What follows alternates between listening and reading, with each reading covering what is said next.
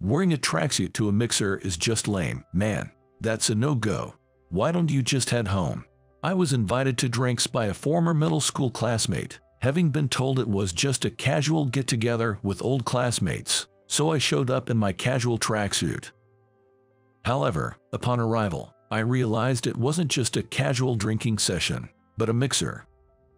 The women were already there, and there was no turning back. Ah, did I make you mad? Are you upset? It was just a joke. Don't take it seriously. Ha ha. When I tried to respond angrily, the organizer, my former classmate, would just brush it off as a joke. The vibe was kind of awkward, but I figured it couldn't be helped and was heading to the bar. That's when one of the women who came whispered something in my ear. My name is Jason.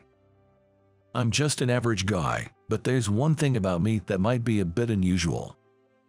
I have an undying love for tracksuits. Lately, I've seen a lot of functional clothing, but I always end up thinking, isn't a tracksuit good enough?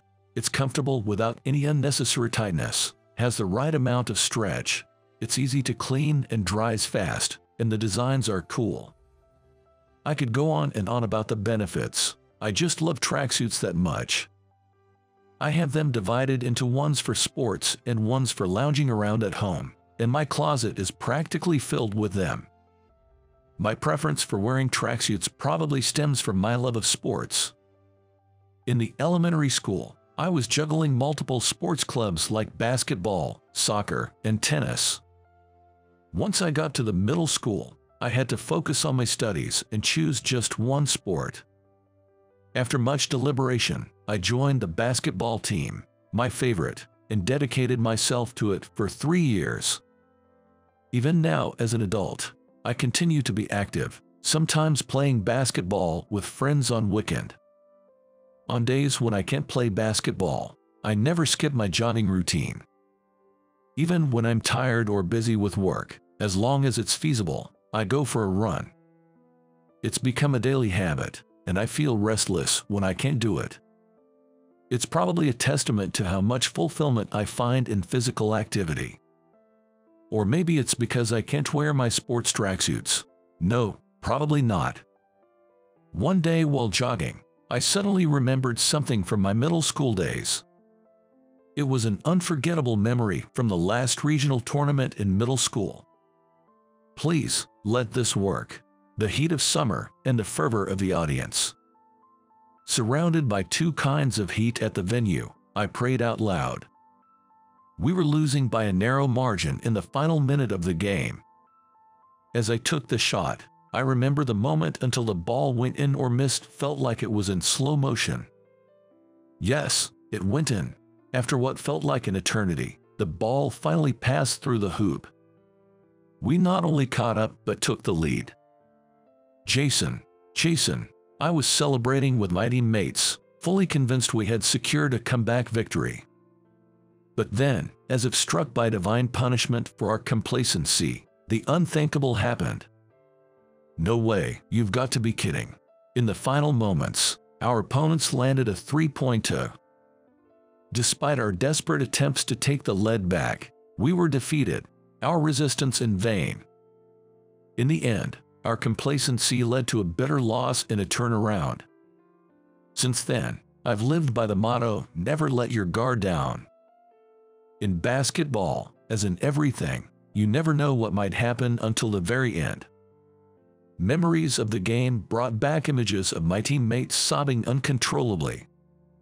Now, it's just a nostalgic memory, but back then, it felt like the world had ended. Thinking back, I heard the guy who cried the most is now running a company. I'll be darned, that guy, huh, I think to myself, but I guess we're all in the same boat. Today was a day off.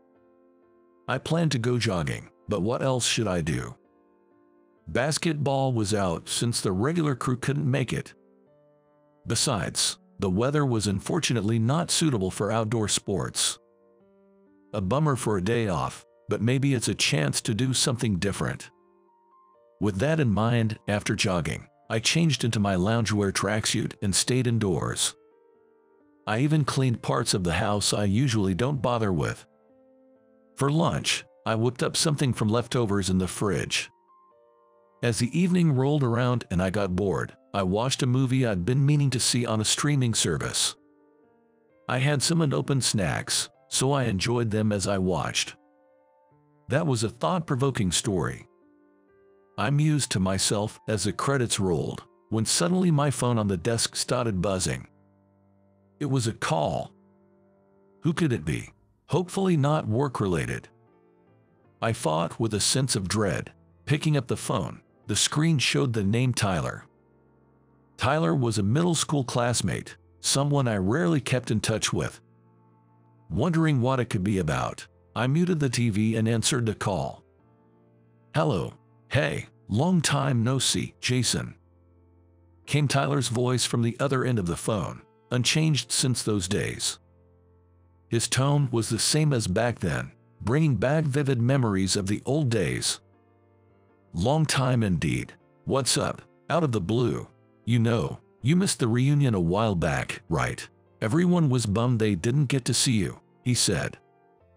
About half a year ago, I got word of the reunion from another former classmate. I had wanted to go, but unfortunately, work got in the way. As a sort of make up for that, a few of us from middle school are getting together for drinks tonight. You want to come? Saying that, Tyler told me about the other members who would be joining. Hearing some familiar names, it definitely seemed like a reunion rematch was in the cards. Got it, I'll be there. Great, I'll send you the location link in a message. We'll meet there. Sure thing. See you later. I hung up and started getting ready to go out. I heard it was just a casual get-together with classmates, so I didn't bother dressing up and left in my casual tracksuit. The weather was still on and off rain, with even darker clouds visible in the distance. Looks like we're in for a heavy downpour. I muttered, slipping a foldable umbrella into my bag and heading out. Walking from a certain station to the designated bar, I spotted a group dressed to the nines. Among them was Tyler, the classmate who had contacted me. He was with a group of women. As I approached, still puzzled, Tyler burst into laughter upon seeing me. Why are you wearing a tracksuit, man? He chuckled. That's when I finally realized this gathering was a mixer. To get me to come, knowing I'd refuse if it was a mixer, he lied and said it was just a casual drinking party with classmates. That's probably it. You still all brawn and no brain, Tyler said, laughing and mocking me. The other classmates laughed along with him, which felt pretty bad. Whatever, let's go, big guy. Tyler, acting as the organizer and group leader, said and led the way to the bar. Following him in order were the classmates, the women, and then me. Big guy, huh, that's a nostalgic nickname. I murmured to myself so no one could hear. Big Guy was my nickname in middle school. I was big and muscular, and also in the basketball team. I got the nickname because my situation resembled a character in a certain basketball cartoon. Back then, it felt like most people called me that out of respect, but now Tyler seemed to use it mockingly. I'm not the same as I used to be. I don't just do sports all the time. I don't think I'm just a musclehead. But Tyler and the others don't seem to see it that way. Should I snap back or just laugh it off? While I was thinking, Tyler, walking in front, said loudly, Wearing a tracksuit to a mixer is just lame, man. That's a no-go. Why don't you just head home? He had this annoying smirk on his face. That reminded me. He has always been the type to mock and laugh at others when he got carried away. I'm not good at showing emotions and don't get angry much, but I'm especially bad with such people. They mistake my silence for acceptance. Sigh. Faced with Tyler's behavior, I let out a sigh. Does he think I won't get angry no matter what he says? Look, man. Unable to stay silent any longer, I opened my mouth to say something. But Tyler quickly interrupted me with his usual assertiveness. Ah, did I make you mad? Are you upset? It was just a joke. Don't take it seriously. Ha ha. That's his usual tactic. Say something to provoke anger, then, when someone is about to get mad, escape by claiming it was just a joke. This unbeatable phrase is tricky because if you get angry at Tyler's laughing, you're seen as the guy who can't take a joke to everyone else. So, I had to stay calm. I didn't know it was a mixer. Oh, really? Tyler just feigned ignorance when confronted. It was frustrating, but to avoid making more of a scene, I had no choice but to go along with his pace. After all, there were women around, the mixer partners were all beauties.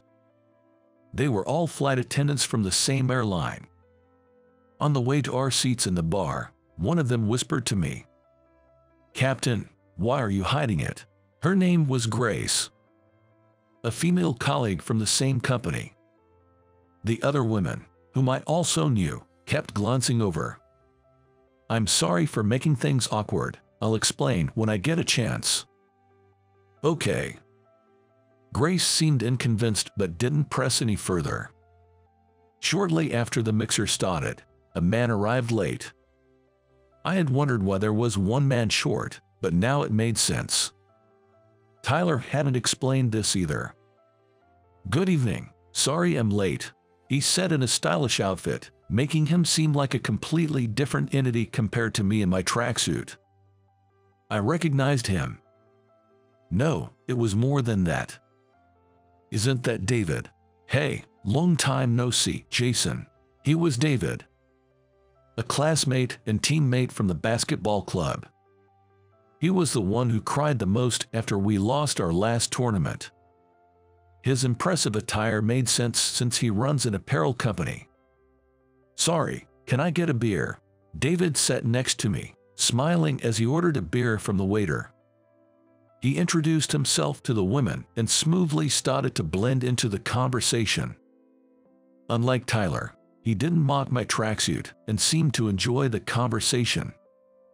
A little while after he joined, he was chatting happily when Tyler abruptly interrupted him. I remembered, this guy used to cry a lot in middle school. Tyler's words were meant as a taunt. David responded with a furrowed brow and it was clear he was remembering, just like I had earlier, that Tyler was always this kind of guy.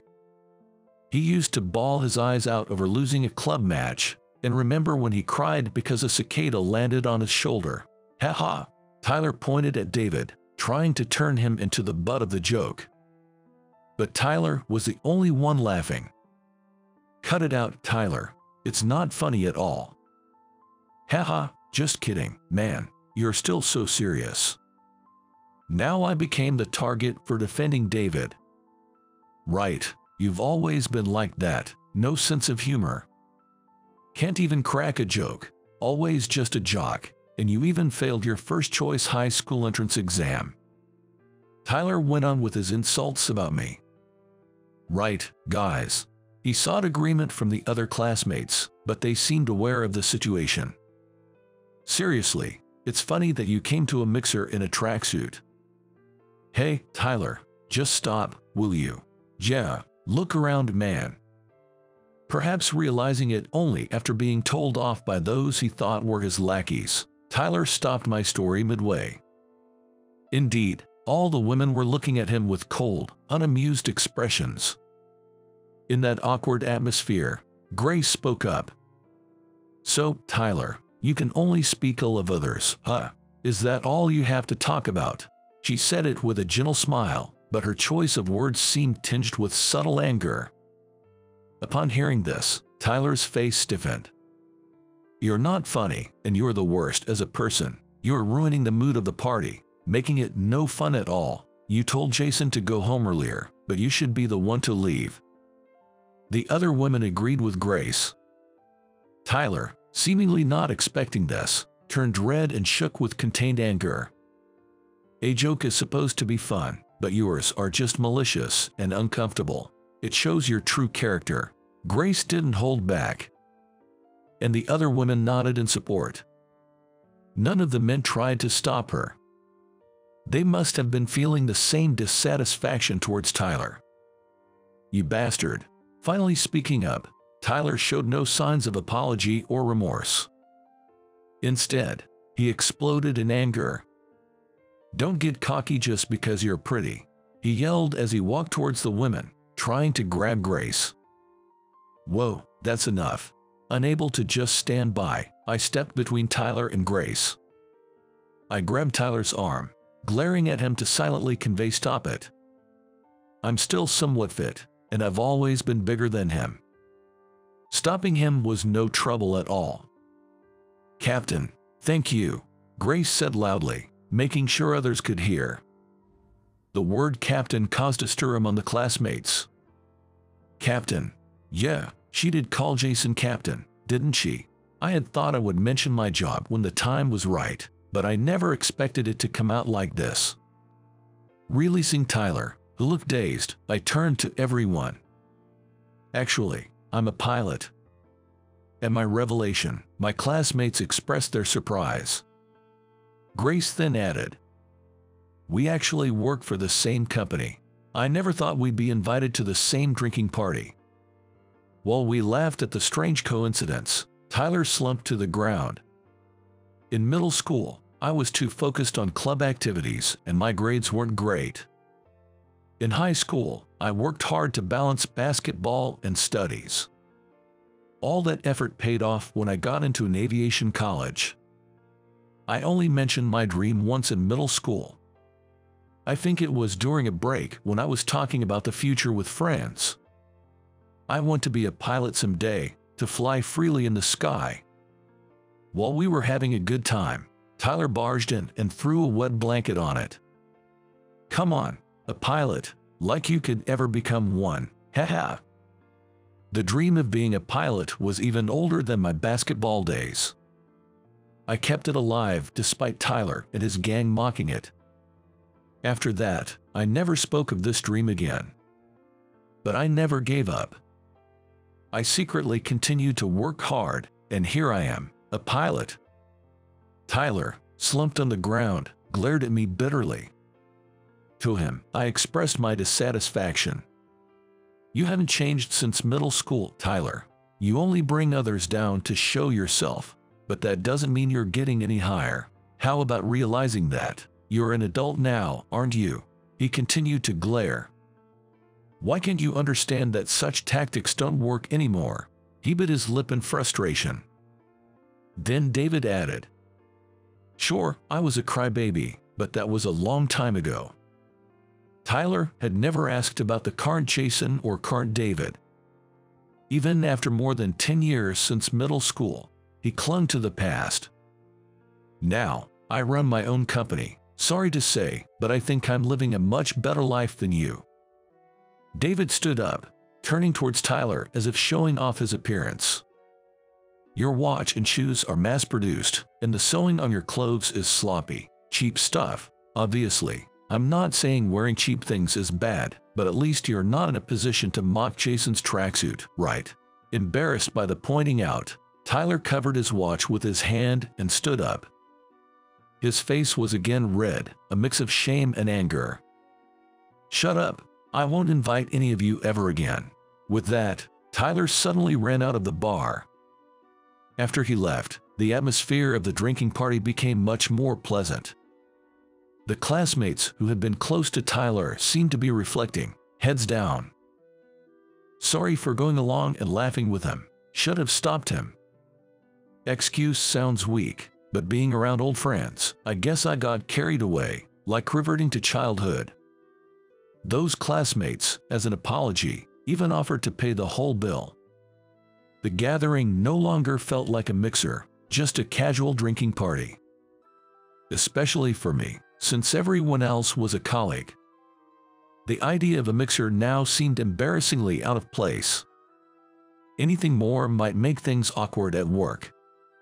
Suddenly, Grace looked at David as if remembering something and spoke. By the way, David, you often fly on our company's planes, don't you? Yeah, I travel overseas a lot for work, so I use them frequently. David replied with a smile. Wait a minute, I haven't heard about this. David and I had kept in touch occasionally, and he knew which airline I worked for as a pilot. Hey David, is that true? Yeah, it's true. I didn't say it, but I've been on flights you piloted. Seriously. Wow, I was shocked, not knowing David had been on my flights. Every time the captain greeted, I looked forward to seeing if it was you. He said, laughing. Meanwhile, I couldn't laugh, embarrassed at being observed at work without knowing. Then, David started talking about his apparel brand. The women were very interested in his story. David of today bore no resemblance to the boy who cried after losing a game. He had grown into a confident and respectable man. As the party wrapped up, David and I chatted for a bit. Great seeing you again, Jason. Definitely, it's best to talk face to face. Though we messaged each other, meeting in person was different. I had fun today, let's drink again sometime, David. I invited him, but he looked downcast. David, curious, I leaned in as he quietly began to speak. I've been meaning to tell you, I'm moving to Paris for work. Is that so? He was leaving the US in just a week. I'm glad I could see you one last time. He said, extending his hand. Accepting the handshake felt like saying goodbye. For a moment, I thought that. But either way, the reality of parting was inevitable, so I extended my hand too. Well, it's not like we'll never meet again. Right, David, we have messages, and we can call if we want. We shook hands firmly, smiling as we parted ways. A week later, as a captain, I was on a flight to Paris. The weather was clear, and the flight was smooth. Just before landing, I started the in-flight announcement. Ladies and gentlemen, our aircraft will soon be entering its descent. Please prepare for landing by returning your seat backs to their original position, stowing your tray tables, and securing your footrests. I then added instructions about stowing luggage and announced that the cabin crew would be making a final check. After the usual greetings, I continued. This is a personal message. I had rehearsed it many times in my mind, but the actual moment still made me nervous. A dear friend of mine is on this flight, embarking on a new journey to a new land, ready to spread his wings on the global stage. It is an honor to be part of this significant step in his life. He is a kind person, one who gets angry, cries, and laughs for others. As a friend, it's saddening to part ways with him. However, our airline connects the world, and together with other airlines, it brings the world closer. To all our passengers, we look forward to welcoming you aboard again. After saying everything I wanted, I turned off the microphone. Taking a deep breath, my co-pilot Kevin gave me a small round of applause. Great speech, Jason. Thanks. I might get in trouble for doing something like this, but it felt right. We shared a laugh. Right about now, Grace must be giving David a certain package. I had asked her in advance to deliver it, a modest gift for him as he embarks on his journey to new horizons. The package contained three things. A group photo taken after our last basketball game in middle school, a letter, and a handkerchief for any tears. I had told her to ask him to open it after reaching his destination, but I wondered if he would wait. Ah, those were the days. I thought, holding the same photo in my hand, I remember David as the one who cried a lot, but looking at the photo again, I realized we all had red eyes. I was no exception. Jay, that's how it was. Kevin watched silently as I indulged in memories. It was all because of you, wasn't it? After narrowly losing the game, we returned to the locker room, feeling frustrated and stunned. Even after hearing the coach's words, it still didn't feel like reality. But just before taking the photo, things changed. One of us started crying loudly. David back then. We were all holding back tears, but his crying broke the dam. He had voiced our collective emotions. It was a relief for someone like me who's not good at expressing feelings. I think it was because we could cry openly there that we were able to move forward. Although I didn't pass the first choice public high school that Tyler mentioned, now that my dream has come true, the distinction between public and private schools seems trivial. Later, after landing, I bumped into David at the airport. It was a bit awkward since the announcement was meant as a farewell. Jason, you really surprised me with that announcement. His expression was a mix of a laugh and a cry. Good, you heard it. I'm glad. Thanks, Jason. Like you said, the world is close when you're on a plane, and the sky connects us, so I'm not alone. He smiled broadly. Suddenly, he began rummaging in his bag. By the way, Grace gave me a package from you earlier. Can I open it? No, no, don't open it here. Wait until you're at your hotel or new place. Startled by my insistence, he stopped and said, Okay, okay. Reading a letter in front of me would be too embarrassing. Next time I come back, I'll fly with you again. Take care of me then. Sure thing. We waved our hands overly large and finally parted ways for Ray All. David's face showed no signs of doubt or anxiety as he walked away. Soon after, his brand began gaining more recognition. According to the message I received, he will soon participate in the Paris Fashion Week. Hearing about the remarkable progress of my close friend made me as happy as if it were my own achievement. As a result, his brand is expanding its stores in the US, especially popular among young women. In our company, his brand is a constant topic of conversation. Not just among Grace and the members who attended that drinking party, but also among senior and new flight attendants. One day after work, I received a message from David. It's your birthday, right? Here's a return gift for you. Take it, it said. When I opened the delivered cardboard box, inside were a tracksuit top and bottom. And they even had his brand logo. Really, two sets, one for lounging and one for exercise. I gratefully accepted them and hung them on a hanger, displayed on my wall. When I mentioned it to Grace and the others, they were envious and amazed. As far as I know, his brand hasn't released tracksuits yet. So, the birthday present I received was specially made just for me. This fact was a major reason for the envy among the ladies. By the way, I haven't worn the tracksuits even once, despite receiving them months ago. I'd hate to get them dirty as loungewear or tear them during exercise. It's too precious to wear. When I told this to David, he scolded me, saying, Clothes are meant to be worn, I apologized but still haven't worn them yet. I wonder when and on what occasion I should wear these special tracksuits. This has become my biggest dilemma lately. Passengers on airplanes come with various emotions. Some board with joy, others with sadness. Some with excitement, others with reluctance. For work, tourism, relocation. Not just for our airline, Passengers have diverse feelings and purposes. My job is to safely deliver all these different passengers to their destinations. With the tension of carrying my own dreams and the lives of the passengers, I fly through the skies today. Without belittling anyone, I'll continue to strive, holding pride in myself not just relatively, but absolutely. Gazing up at the vast sky, that's the promise I make to myself,